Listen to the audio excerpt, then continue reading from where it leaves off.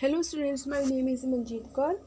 Welcome to Mata Mohan Dev Oswal Public School channel. Please subscribe this channel so that you can get all notifications.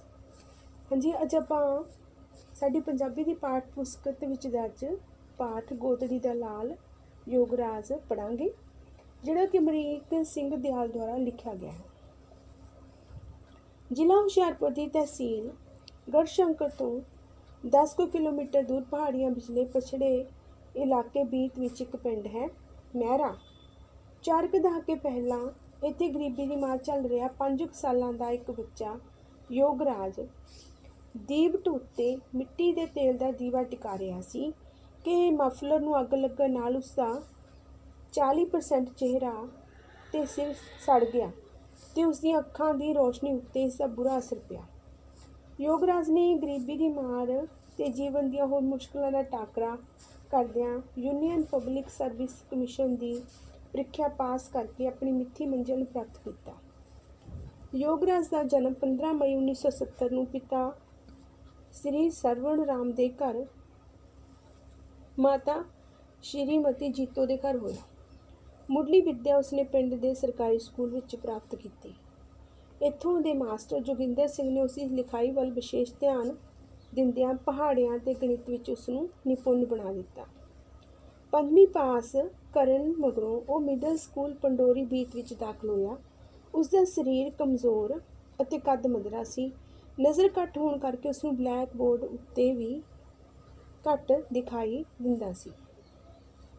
ਉਹ ਆਪਣੇ ਨਾਲ ਤੱਪੜ ਉੱਤੇ ਬੈਠਦੇ ਸਾਥੀਆਂ ਦੀਆਂ ਕਾਪੀਆਂ ਤੋਂ ਉਤਾਰਾ ਕਰ ਲੈਂਦਾ। ਘਰ ਦੀ ਗਰੀਬੀ ਕਾਰਨ ਉਹ ਕਿਤਾਬਾਂ ਵੀ ਨਹੀਂ ਸੀ ਖਰੀਦ ਸਕਦਾ। ਸਰਦੇ ਪੁੱਜਦੇ ਘਰਾਂ ਦੇ ਮੁੰਡੇ ਉਸ ਨੂੰ ਕਿਤਾਬਾਂ ਤਾਂ ਦੇ ਦਿੰਦੇ, ਪਰ ਬਦਲੇ ਵਿੱਚ ਉਸ ਨੂੰ ਉਹਨਾਂ ਦਾ ਸਕੂਲ ਦਾ ਘਰ ਲਈ ਮਿਲਿਆ, ਸਾਰਾ ਕੰਮ ਕਰਨਾ ਪੈਂਦਾ। ਇਸ ਤਰ੍ਹਾਂ ਕਰਨਾ ਉਸ ਲਈ ਲਾਭਦਾਇਕ ਸਿੱਧ ਹੋਇਆ, ਕਿਉਂਕਿ ਉਸ ਦੀ ਨਕਲ ਨਾਲ ਨਾਲ ਦੁਹਰਾਈ ਹੋ ਜਾਂਦੀ ਸੀ।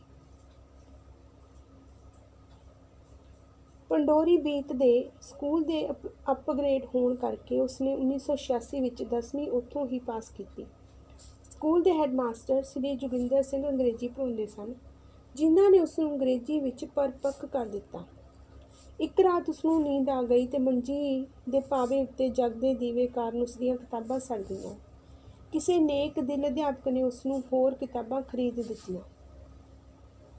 1986 ਵਿੱਚ ਉਸਦੇ ਘਰ ਦੀ ਹਾਲਤ ਹੋਰ ਵਿਗੜ ਗਈ ਸੀ। ਨੇੜੇ ਤੇੜੇ ਕੋਈ ਹਾਇਰ ਸੈਕੰਡਰੀ ਸਕੂਲ ਵੀ ਨਹੀਂ ਸੀ। ਇਸ ਕਰਕੇ ਉਸਨੇ 1986 ਵਿੱਚ ਫਗਵਾੜਾ ਨੇੜੇ ਜਗਤਪੁਰ ਜੱਟਾਂ ਦੀ ਦਾਣਾ ਮੰਡੀ ਵਿੱਚ ਮਜ਼ਦੂਰੀ ਦਾ ਕੰਮ ਸ਼ੁਰੂ ਕੀਤਾ। ਇਸ ਤਰ੍ਹਾਂ 10 ਸਾਲ ਉਹ ਕਣਕ ਤੇ ਝੋਨੇ ਦੀ ਛੜਾਈ ਤੇ ਭਰਾਈ ਤੋਂ ਇਲਾਵਾ ਸੈਲਰਾਂ ਵਿੱਚ ਕੰਮ ਕਰਦਾ ਰਿਹਾ। ਉਸਨੇ ਖੱਡਾਂ ਵਿੱਚੋਂ ਪੱਥਰ ਇਕੱਠੇ ਕਰਨ, ਰੋੜੀ ਕੁੱਟ ਕੇ ਟਰੱਕ ਭਰਨ ਆਦਿ ਵੀ ਕੰਮ ਕੀਤੇ। 1988 ਵਿੱਚ ਉਸਨੇ ਪ੍ਰਾਈਵੇਟ ਤੌਰ ਤੇ 11ਵੀਂ ਦੀ ਪ੍ਰੀਖਿਆ ਪਾਸ ਕੀਤੀ, ਪਰ ਨਤੀਜੇ ਵਿੱਚ ਉਸਦੀ ਇੱਕ ਵਿਸ਼ੇ ਵਿੱਚ ਕੰਪਾਰਟਮੈਂਟ ਆ ਗਈ। 1990 ਵਿੱਚ ਉਸਨੇ 12ਵੀਂ ਤਾਂ ਪਾਸ ਕਰ ਲਈ, ਪਰ ਕੰਪਾਰਟਮੈਂਟ ਨਾ ਟੁੱਟਣ ਕਰਕੇ ਉਸ ਨੂੰ ਵਾਪਸ 11ਵੀਂ ਵਿੱਚ ਆਉਣਾ ਪਿਆ। ਫਿਰ ਉਸਨੇ 1991 ਵਿੱਚ 11ਵੀਂ ਤੇ 1992 ਵਿੱਚ 12ਵੀਂ ਪਾਸ ਕਰ ਲਈ। 1993 ਵਿੱਚ ਉਸਨੇ ਆਈਟੀਆਈ ਨੰਗਲ ਤੋਂ ਡਰਾਫਟ ਮੈਂ ਸਿਵਲ ਦਾ ਡਿਪਲੋਮਾ ਕੀਤਾ। 1993 ਵਿੱਚ ਜਦੋਂ ਬੀਚ ਦੇ ਇਲਾਕੇ ਵਿੱਚ ਡੂੰਘੇ ਟਿਊਬਵੈਲ ਲੱਗਣ ਲੱਗੇ ਤਾਂ ਉਸਨੇ ਪਾਈਪਲਾਈਨ ਵਿਛਾਉਣ ਲਈ ਡੂੰਘੀਆਂ ਖਾਈਆਂ ਪੁੱਟਣ ਦਾ ਵੀ ਕੰਮ ਕੀਤਾ। ਇਸ ਤੋਂ ਇਲਾਵਾ ਉਹ ਬਰਸਾਤਾਂ ਵਿੱਚ ਬੂਟੇ ਲਾਉਣ ਲਈ ਟੋਬੀ ਪੁੱਟਦਾ ਰਿਹਾ। ਉਸਨੇ ਰਾਜ ਮਿਸਤਰੀਆਂ ਨਾਲ ਮਜ਼ਦੂਰੀ ਵੀ ਕੀਤੀ।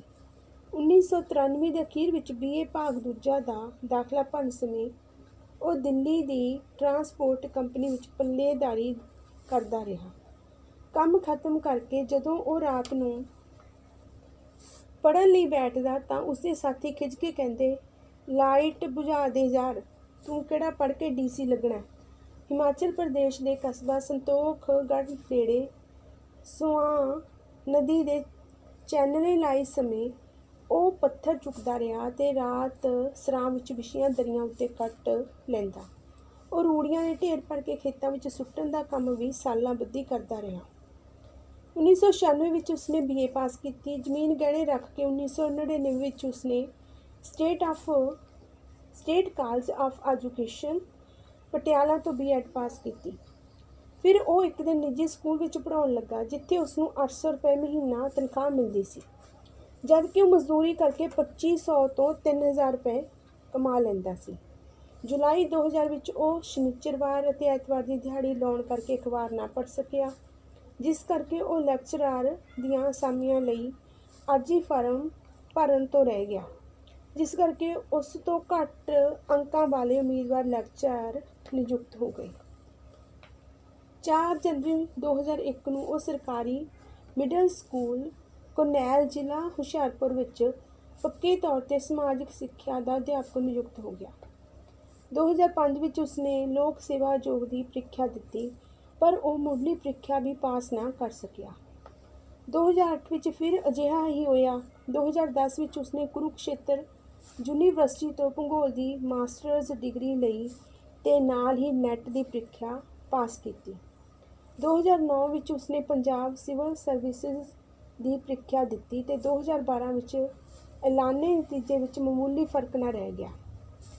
2013 ਵਿੱਚ ਉਹ ਫਿਰ ਅਸਫਲ ਰਿਹਾ। 2014 ਵਿੱਚ ਉਹ ਸਰਕਾਰੀ ਹਾਈ ਸਕੂਲ ਬੀਰਮਪੁਰ ਵਿੱਚ ਮੁੱਖ ਅਧਿਆਪਕ ਨਿਯੁ- ਨਿਯੁਕਤ ਹੋਇਆ। 2014 ਵਿੱਚ ਉਸਨੇ ਸੰਘ ਲੋਕ ਸੇਵਾ ਆਯੋਗ ਦੀ ਪ੍ਰੀਖਿਆ ਪਾਸ ਕਰ ਲਈ।